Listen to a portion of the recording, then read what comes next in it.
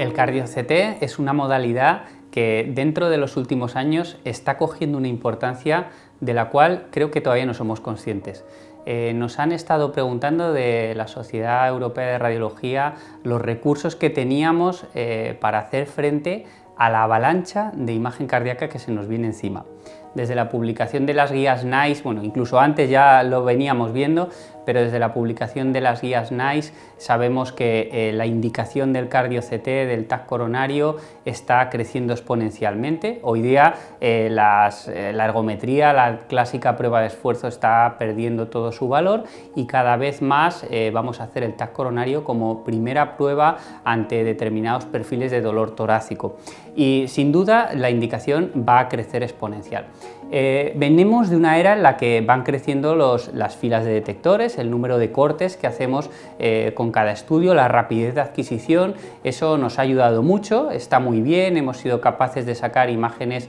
eh, de más calidad, más fácilmente, hemos reducido artefactos, bueno, pues hemos tenido ventajas. Pero yo creo que el avance significativo y el cambio viene este año gracias a Philips, de la mano de Philips, con la detección espectral. Yo creo que es el, cambio verdadero, el cambio cualitativo que tenemos en el mundo de la radiología eh, en el cardiotac.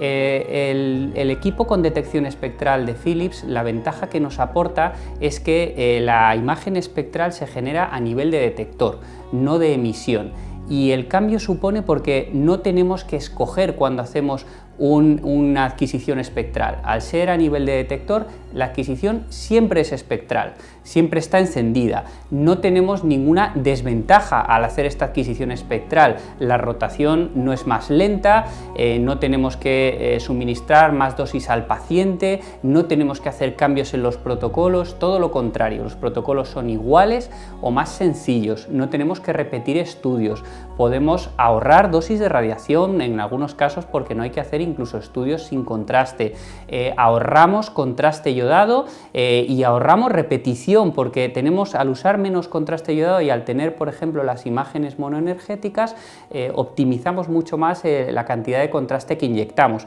con lo cual salvamos estudios, no tenemos que repetir estudios. Todo esto realmente es una disrupción, es un cambio de modelo. Ahora, cuando hagamos estudios de TC de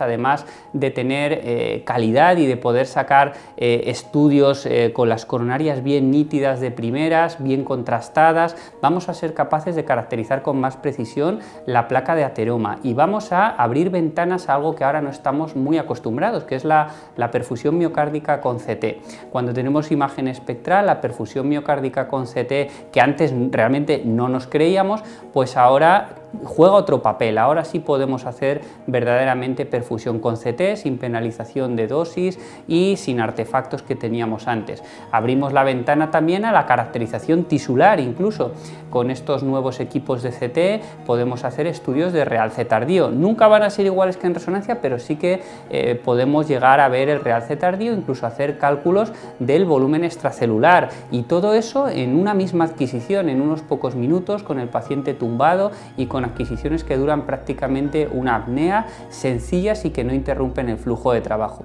A mí realmente me parece que eh, Philips eh, ha puesto el cambio y el foco en este tipo de detección espectral. Yo creo que es una apuesta eh, que es claramente ganadora porque no va en línea de intentar mejorar algo a lo que ya casi hemos llegado el límite, que es aumentar el número de detectores, sino realmente el hacer este cambio cualitativo y ir a la imagen multienergía.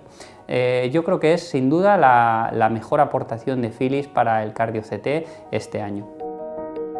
Otro aspecto al que ayuda este equipo es en las competencias y en la formación. Es un equipo en el que eh, al ser fácil de implementar en el flujo de trabajo diario de un servicio de radiología, eh, permite que nos centremos realmente en lo importante, que es el paciente y en el diagnóstico del paciente. No hay que estar pendientes de generar técnicamente un mapa con un, eh, mapa de densidad de yodo, un mapa de Z efectivo de número atómico, determinado mapa que si no escogemos el grabarlo y el protocolizarlo, usarlo pues lo vayamos a perder esa información. Nos centramos en lo importante, entonces nos permite que tanto eh, los radiólogos como los cardiólogos trabajemos en equipo para sumar y que eh, realmente el paciente sea el beneficiado. Y eso también ayuda a que los especialistas nos formemos mejor, el que no tengamos que estar distraídos pues con este tipo de información que se pierde, de estar pendientes, tenemos todo disponible y además podemos verlo retrospectivamente, eh, con lo cual no hay distracciones y no hay pérdidas de información. Esto nos ayuda a que el centro de la atención sea la patología del paciente, el diagnóstico precoz cardiovascular y que tengamos eh, este sistema o esta prueba todo en uno para aportar la mejor información. Hay un caso eh, práctico que a mí me llama la atención con el TAC espectral, que antes para nosotros era mm, muy muy complicado, era muy difícil, era casi ciencia ficción, aunque lo hacíamos eh, frecuentemente, que era por ejemplo en el caso de la patología coronaria, eh, la evaluación de los stents coronarios. Con los TAC convencionales, los stents coronarios, debido a la atenuación de las de radiación, era muy difícil, según qué composición tenían determinados stents, ver la luz de la arteria coronaria, ver el interior del vaso. Entonces, realmente en muchas ocasiones nos los estábamos imaginando el interior, veíamos flujo distal al stent en la coronaria, veíamos el stent con cierto artefacto en su interior y nos lo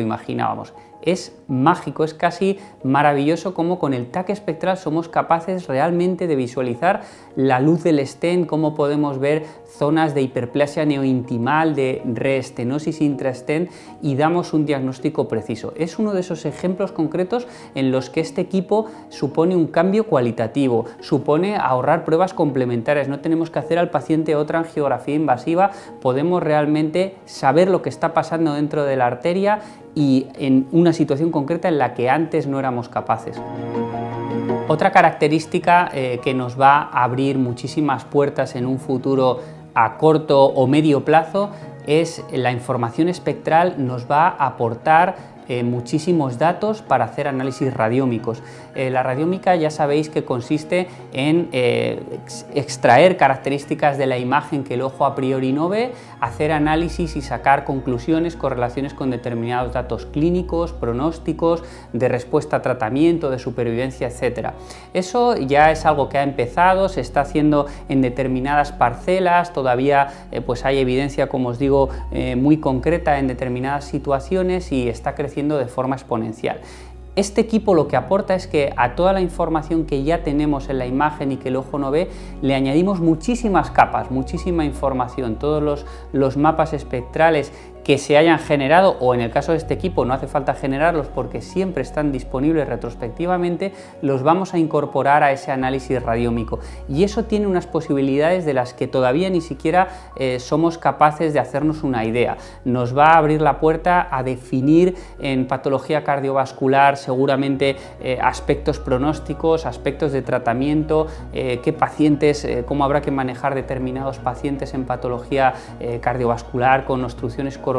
con determinadas situaciones de perfusión miocárdica, es algo que todavía no conocemos, que está por explorar y que cuando estos equipos se extiendan, eh, pues seremos realmente más conscientes de ellos. Mi visión personal es que probablemente eh, los servicios de radiología dentro de 5 o 6 años ya no compren ningún TAC convencional, todos los equipos que se adquieran sean siempre espectrales. Y esto es lo que nos va a abrir la puerta a un futuro mejor de la radiología y por eso es tan importante este cambio cualitativo de pasar del TAC multidetector al TAC multienergía.